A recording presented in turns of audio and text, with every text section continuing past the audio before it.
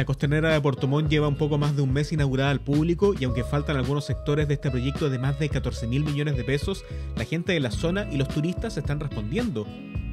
La iniciativa comprende desde el muelle, que está a algunos pasos del Mall Paseo Costanera, hasta el embarcadero hacia Isla Tengro y tiene dos grandes sectores, uno de libre tránsito y otro cerrado y con horarios definidos de uso.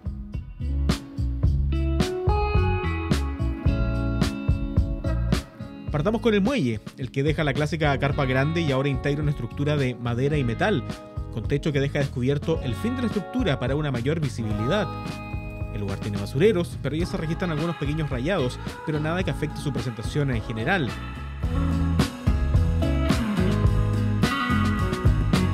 Punto aparte es la basura que se junta en las rocas, la que es en parte tirada por el público, pero también el mismo mar que la trae hacia la orilla. Seguimos avanzando hacia los paraderos que fueron ampliamente criticados en su momento por no estar adaptados a esta zona tan lluviosa como es Puerto Montt.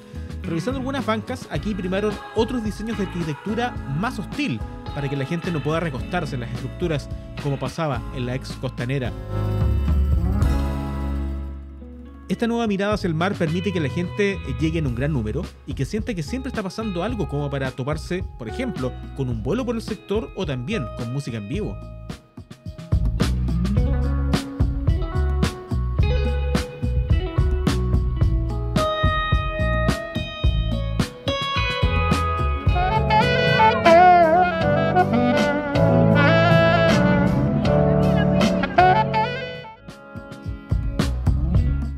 Sentado frente al mar no deja a nadie indiferente. La estatua del escultor Robinson Barría luce distinta por el cambio en su base, pero principalmente por el trabajo y gestión de sus pintas, que dieron una nueva cara a un monumento muy conocido, pero muchas veces alimento de memes y otros comentarios. Pese a todo, la estatua sigue trayendo gente durante todos los días para la clásica foto que retrata el paso por Puerto Montt. Pasamos al segundo sector de este parque costanera y corresponde a esta área de accesos controlados, el que se encuentra enrejado y tiene horarios definidos de acceso, guardias y otro tipo de instalaciones, pensados en el deporte y en la ocupación del espacio público.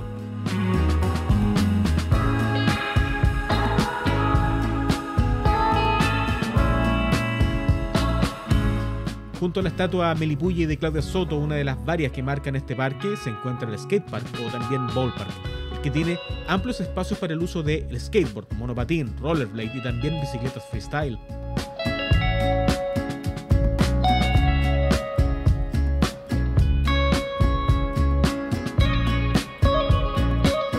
Todo esto en un espacio amplio y que no afecta el tráfico de los visitantes hacia las otras áreas de este complejo, el que cuenta, por ejemplo, con dos multicanchas, una mini pista de ciclismo, juegos infantiles y su propio sector de musculación con una activa comunidad.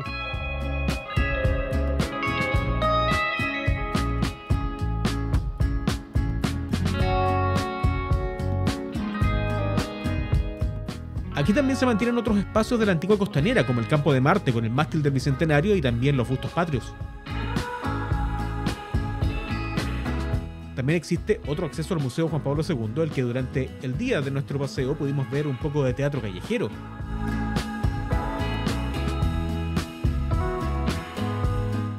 Otro de los espacios que fueron renovados fueron los trenes, los que en su momento eran parte del ex vagón del arte, hoy desarmado, y que, con colorías máquinas, recuerdan cuando estaba esta vía férrea en las inmediaciones.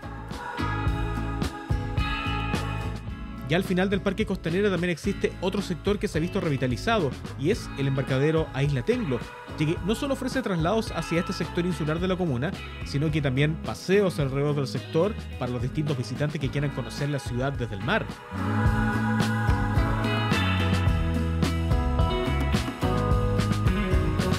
Esta nueva costanera sigue reuniendo un nivel importante de personas, incluso en una temporada turística baja, lo que demuestra que entre movilizaciones y pandemia, la gente quiere espacios públicos para utilizarlos y serán ellos mismos los que querrán que duren mucho tiempo en ese mismo estado.